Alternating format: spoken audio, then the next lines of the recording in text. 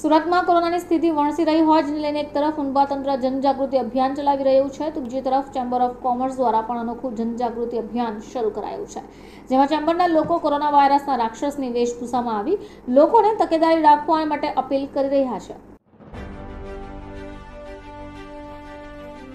દિવાળી બાદ સુરતમાં કોરોનાની સ્થિતિ વણસી છે, જેને લઈને સુરતમાં રાત્રે નવથી સવારના છ વાગ્યા સુધી કરફ્યુ લાદવામાં આવ્યો છે. અને સરકારનો નવો આદેશ ન આવે ત્યાં સુધી આ કરફ્યુ યથાવત રહેશે તો બીજી તરફ નિયમો ન પાળનારા લોકો સામે તંત્રએ લાલ આંખ કરી દંડ પણ વસૂલી રહી છે.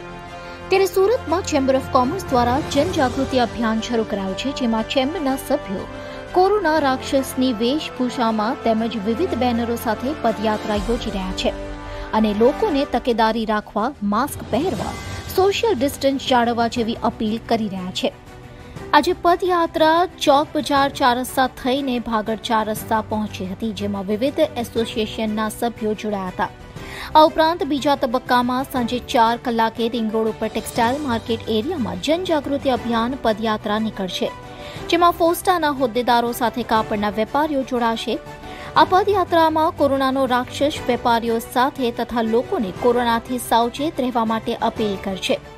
રસ્તા ઉપર ઉતરી આવીને આ રાક્ષસ લોકોને ફરજિયાતપણે માસ્ક પહેરવા સોશિયલ ડિસ્ટન્સ જાળવવા તથા હાથને સેનિટાઇઝ કરતા રહેવાનો સંદેશો પણ આપશે. Bureau report channel I witness news Surat.